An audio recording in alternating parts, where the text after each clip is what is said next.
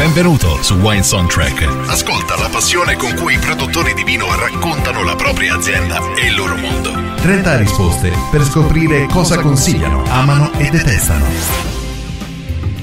Un saluto agli amici di Wine Soundtrack.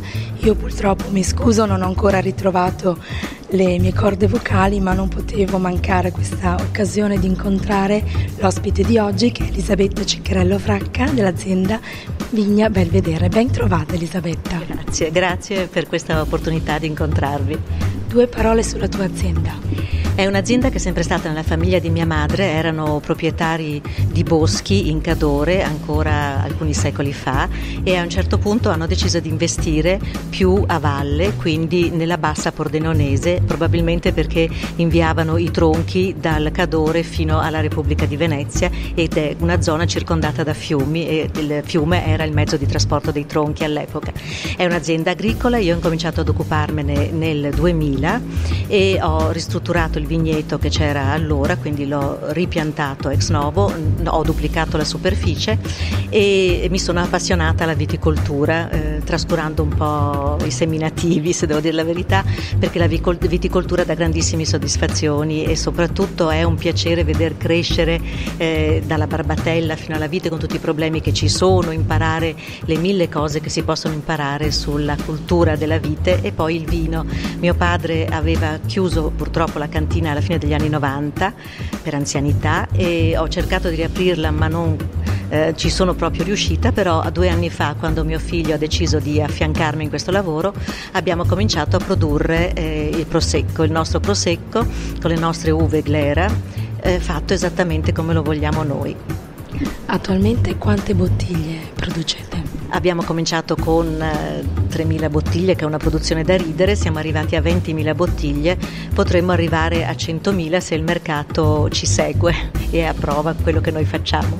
Attualmente a quale tipologia di mercato vi rivolgete? Straniero o, itali- o domestico italiano? Ci rivolgiamo soprattutto al mercato straniero, siamo già in Belgio, in, mm. in Svizzera, in Giappone, in, in, America, in Inghilterra, quindi è soprattutto un mercato straniero, anche perché qui la concorrenza è talmente schiacciante che noi piccoli facciamo fatica. Senti, il tuo primissimo ricordo legato al vino? Un meraviglioso verduzzo eh, che, eh, frizzante che facevamo noi in cantina che aveva dei sapori e dei gusti che non ho mai più ritrovato.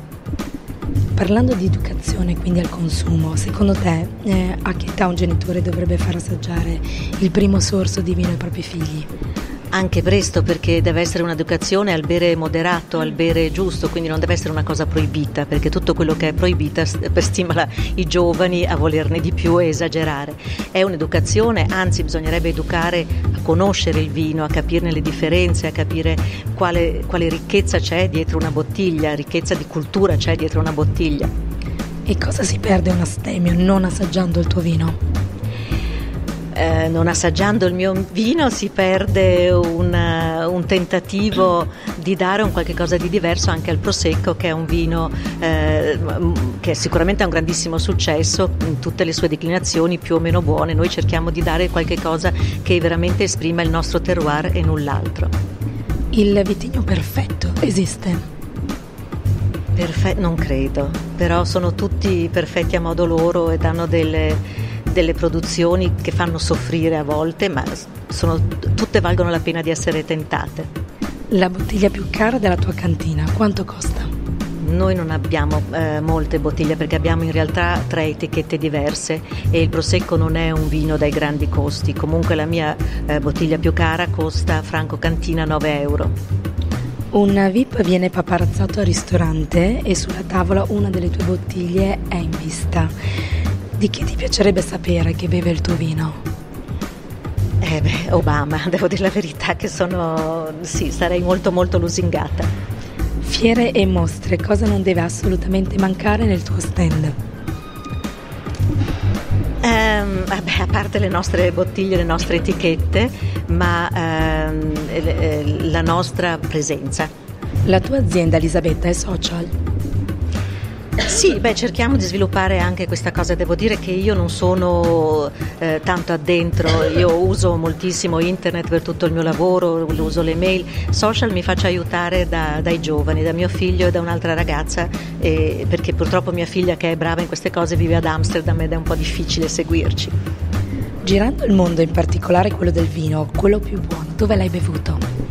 Il vino più buono per me è, è, sicuramente lo Chablis, ci sono alcune produzioni di Chablis che trovo veramente straordinarie, però quello che più mi ha eh, lasciato il segno è un, un medio basso vino portoghese che bevevo di nascosto in un college inglese quando ero ragazza. Sbarcano gli extraterrestri nella tua proprietà, che vino gli fai assaggiare?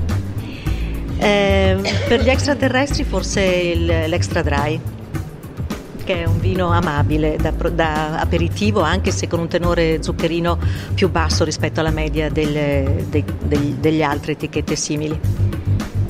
Il vino che ti sta dando più soddisfazioni della tua azienda? Il vino è il Naima, che è la nostra nuova produzione 2017, è un millesimato Charmalungo che rimane quattro mesi sui lieviti ed è uh, un extra brut che sta incuriosendo proposito di guide del settore, che cosa ne pensi? Sono un ottimo strumento per farsi conoscere e per avere dei contatti con eh, persone che possono essere anche interessate alla nostra realtà. Da piccola alla domanda cosa vuoi fare da grande, cosa rispondevi? La veterinaria.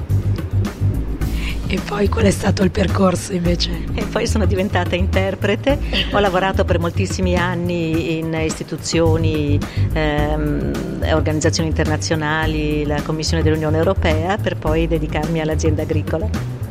Il vino per te è bianco, rosso o rosé? Eh, bianco o rosso, a seconda di, dell'abbinamento, rosé quasi mai. Fermo o bollicine? Eh, questa è una domanda a trabocchetto. Eh, eh, eh, per l'aperitivo sicuramente un prosecco e per, eh, invece per il pasto preferisco un vino fermo. Bollicine italiane o francesi? Ah, no, assolutamente italiane. La parola del vocabolario enologico che ti piace di più? Perlage. Allora, abbiamo superato l'abbinamento che doveva essere a suo tempo trasgressivo, bianco con carne e, e il pesce con il rosso. Il tuo abbinamento più creativo e zardato qual è stato? Il mio abbinamento più creativo? Beh, eh, devo dire la verità che eh, con questo nostro ultimo prosecco, questo millesimato che sta quattro mesi sui lieviti, tentiamo di fornire un prodotto che eh, si abbini bene a tutto pasto, quindi con eh, un sushi per esempio oltre che con i classici abbinamenti eh, mortadella e salame, eh, il sushi potrebbe essere una novità. Per una serata di seduzione, che vino ordineresti? Ancora lo Chablis. Qualcuno legge i fondi del caffè. Se si potesse leggere i fondi di un calice, cosa ti piacerebbe che ti rivelasse? Eh, come andrà l'annata successiva? La tua squadra del cuore conquista il titolo di campionato. Con quale bottiglia festeggi? Con il nostro Brut. Eh, il, il, il, il Prosecco Brut, che è adatto secondo me. Cosa ti resta da fare nella lista dei desideri? riprendere a viaggiare. Forse posso continuare a viaggiare portando in giro il mio prosecco, per esempio.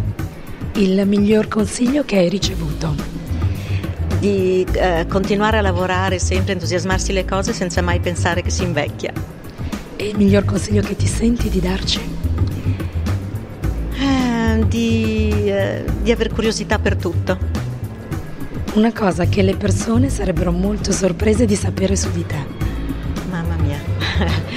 Eh, eh, che era una bambina timida. Ti è piaciuta la nostra intervista? Sì, molto divertente. Un voto da 1 a 10. A 10 sicuramente. Grazie mille.